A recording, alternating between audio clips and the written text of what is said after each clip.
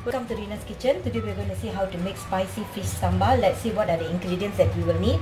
You will need fish, any fish you can use, but I'm using Tenggiri fish. And then you need one bowl of chili paste. This chili paste is depends on how spicy you want.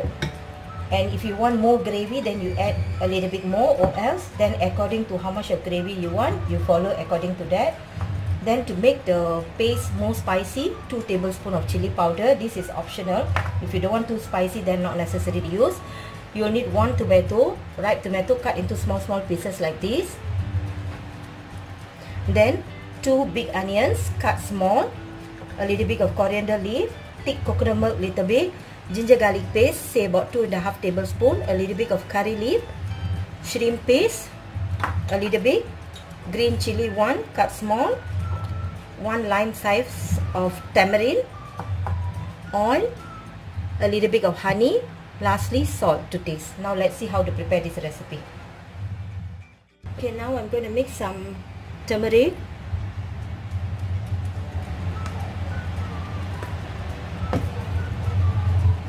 some salt. Okay, now we mix it well. Then I'm going to fry it. Eh?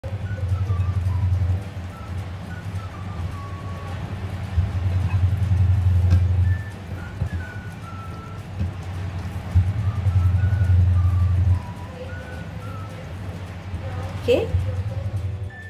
I already heat up the pan.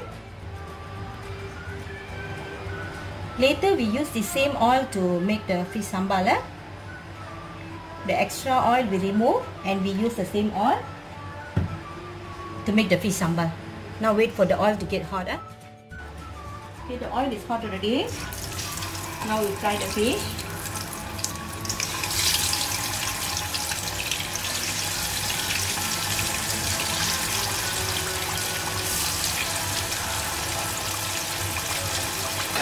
Okay, normally this fish, uh, some people will fry it half cooked, eh? but I normally fry it very crispy so that you won't have the raw fish smell when you make the sambal. So try to fry it crispy a bit. Eh? I'll show you how I'm going to fry it. Okay, I already fried the fish and removed some oil and I'm using the same fish oil. Eh? So now what we do?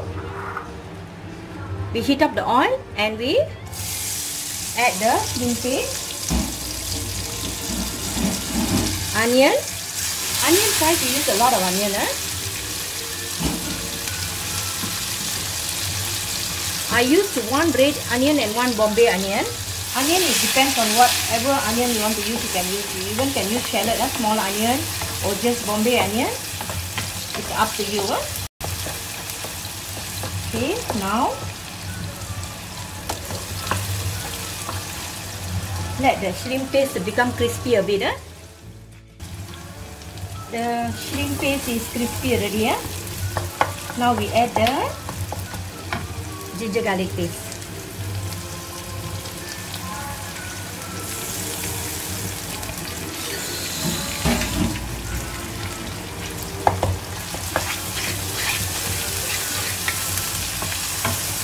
curry leaf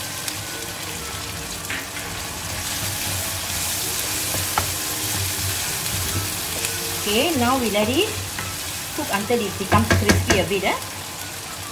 We close it and leave it for a while.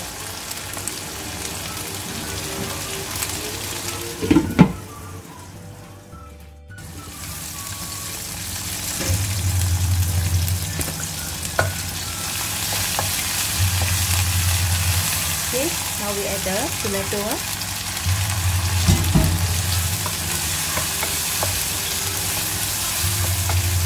You have uh, lemongrass that is dry, you can use that as well. Huh? But I don't have it today at home, so I'm not using it. But normally for sambal, if you use lemongrass, it will have a better taste. Huh? But if you don't have also, it's okay. Okay, now let's wait for the tomato to get smashed. Huh?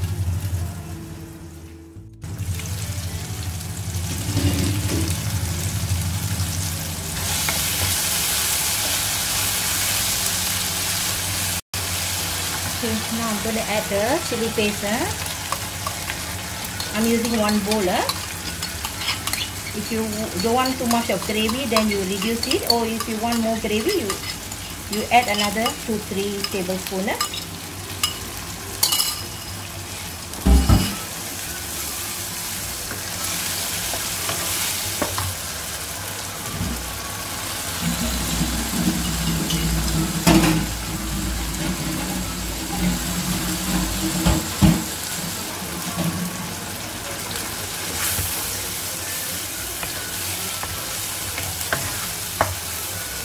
Okay, now I'm adding the chili powder.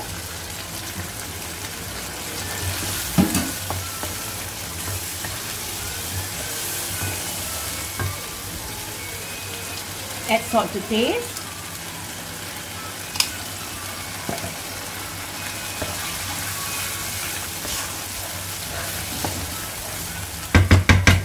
Now we close it and leave it to cook for a while until the oil is up.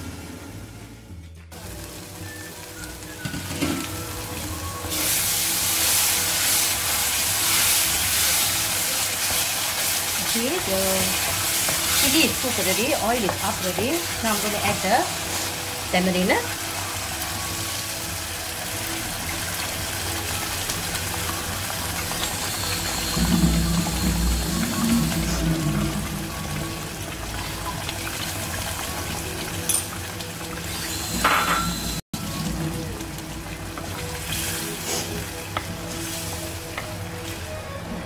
Now we close it and leave it to cook for a while. Huh?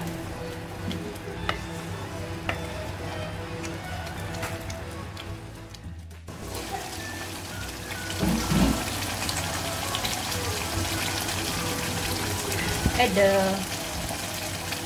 add the green chili.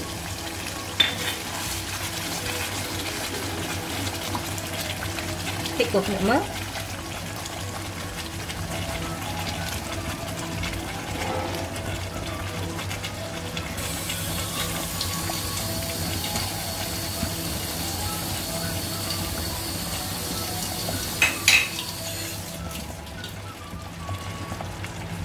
A little bit of honey or sugar.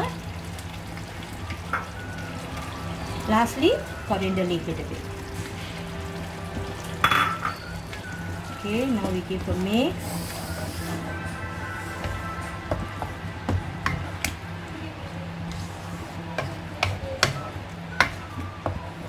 Now we leave it to cook say about 3 to 5 minutes. Huh? Then we can add the fish. Huh? Okay,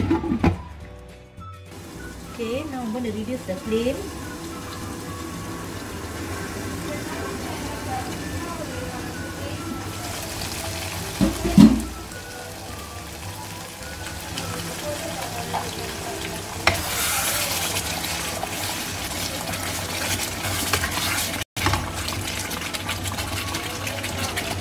I'm going to taste the salt.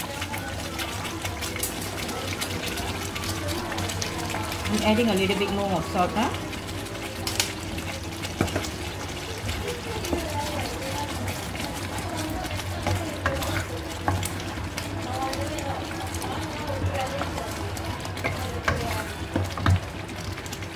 Okay, now I'm going to add the fish. You see, the fish I've already fried very crispy. Yeah? You try to fry it crispy like this, it will have a better taste. It won't have the raw fish smell. Huh?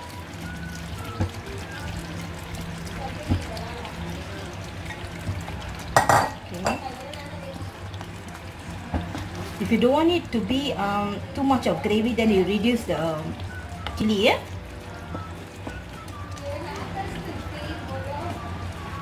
Okay, our fish sambal is ready. Now you can off the stove.